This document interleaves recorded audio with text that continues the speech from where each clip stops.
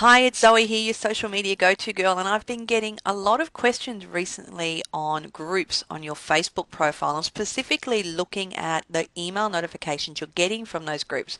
With the advent of the new groups and your Facebook profile, it has become a very valuable way to keep in touch with a certain network of people. You can have open, you can have closed groups. And we're on my homepage here. If you have a look over on the left hand side here, I'm a member of a number of groups.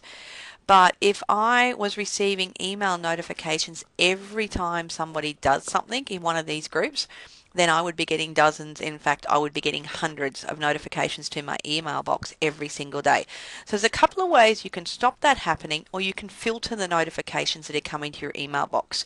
When you're looking at changing anything to do with the settings, the privacies and notifications, who sees what on your Facebook profile, it's always found up here in the top right hand corner under account.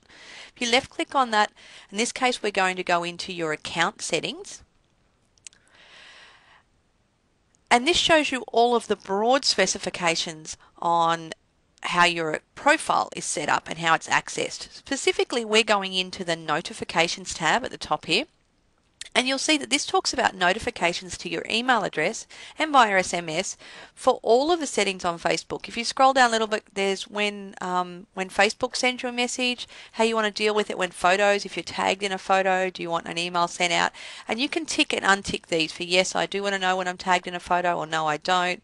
Someone comments on me. You can see I have very few ticks here, except for when the pages come up because I do actually want to be notified when changes are being made to pages where I'm an admin.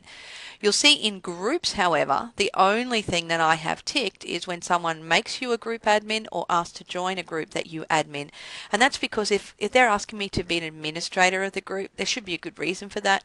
If I'm an administrator of a group, and someone asks to be added, then I may need to allow that to happen if it's a closed or secret group. So it's important that I do get those notifications, but I don't really want to know every time somebody adds me to a group um, request me to change a group or change its name or things like that. You'll notice here it says change email settings for individual groups. If you left click on that one, a box will come up with all of the individual groups that you're a member on, and you can decide if you want to be sent email notifications at all for those groups.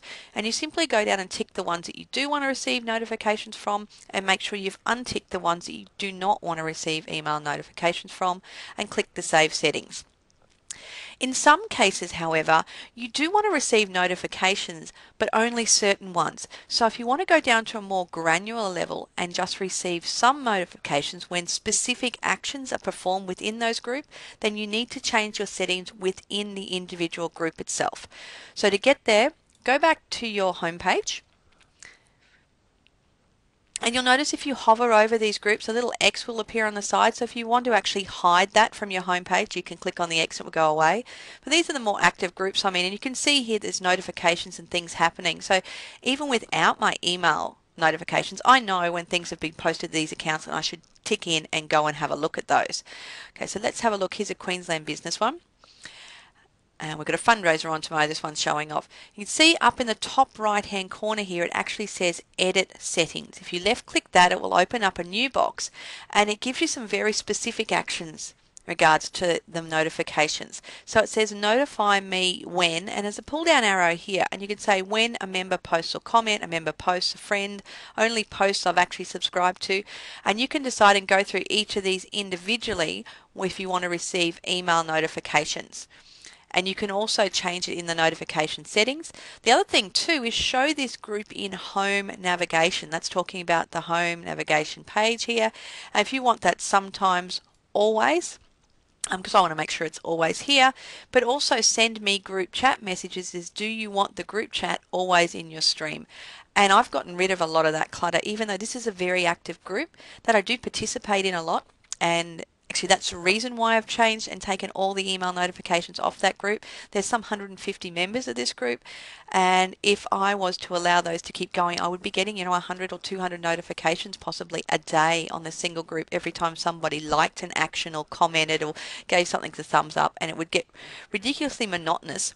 And I also find that I would then shut off to the notifications from that group, some of which could be really valuable.